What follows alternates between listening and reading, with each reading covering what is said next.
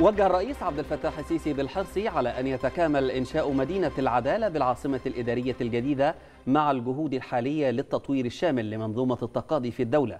جاء ذلك خلال اجتماع الرئيس عبد الفتاح السيسي مع المستشار عمر مروان وزير العدل واللواء أحمد العزازي رئيس الهيئة الهندسية للقوات المسلحة. وفي اجتماع آخر مع مدير عام جهاز مشروعات الخدمة الوطنية للقوات المسلحة استعرض الرئيس السيسي الموقف التنفيذي لعدد من مشروعات الجهاز لا سيما في مجال تنمية الثروة السمكية. اجتمع السيد الرئيس عبد الفتاح السيسي مع المستشار عمر مروان وزير العدل. واللواء أحمد العزازي رئيس الهيئة الهندسية للقوات المسلحة.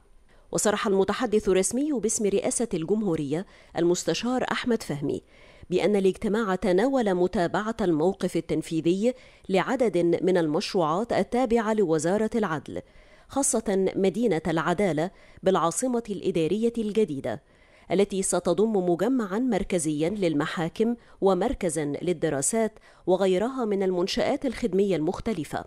وقد وجه السيد الرئيس بالحرص على أن يتكامل إنشاء مدينة العدالة مع الجهود الحالية للتطوير الشامل لمنظومة التقاضي بالدولة خاصة من خلال تعزيز الكوادر البشرية والكفاءات الفنية القضائية وكذا تطوير الجانب التقني والتكنولوجي بمنظومة عمل المحاكم على مستوى الجمهورية.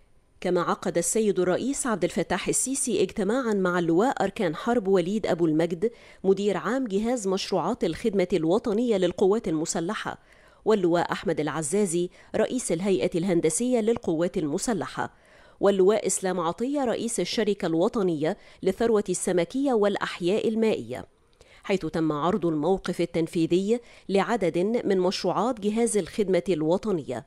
لا سيما في مجال تنمية الثروة السمكية والتي تهدف إلى زيادة نسب الاكتفاء الذاتي بالإضافة إلى توفير المزيد من فرص العمل وذلك في إطار جهود تحقيق الأمن الغذائي للمواطنين ودفع عملية التنمية الشاملة على مختلف المحاور.